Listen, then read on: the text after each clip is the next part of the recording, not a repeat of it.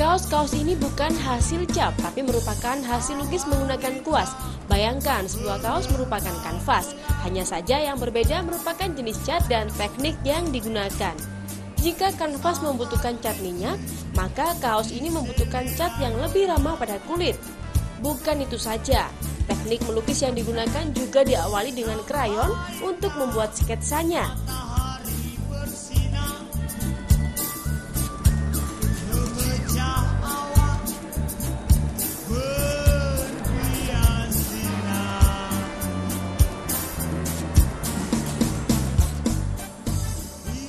Sketsa digambar, lalu goresan kuas pun mulai dilukiskan.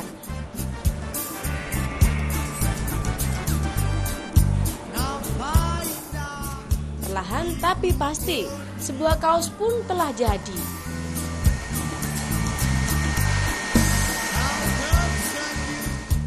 Edi pemilik workshop kaos lukis mengaku jika keuntungan yang didapat oleh hasil melukis cukup tinggi. Baginya kebiasaan melukis kaos dimulai sejak beberapa tahun yang lalu. Mulai dari melukis kaos di Pulau Dewata, lalu dikembangkan di Surabaya ini. Saya lihat di sini kebanyakan teman-teman buka sedang eh, kebanyakan dari lukisan dan lukis kaos belum ada. Jadi makanya saya ada ide ini untuk buka stand lukis kaos.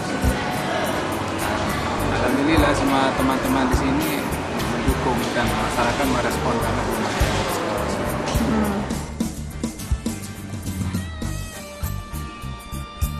Selama melukis, harga yang ditawarkan Edi sebanding dengan kualitas yang dihasilkan. Terlebih, pembeli juga bisa memesan bentuk lukisan yang diinginkan.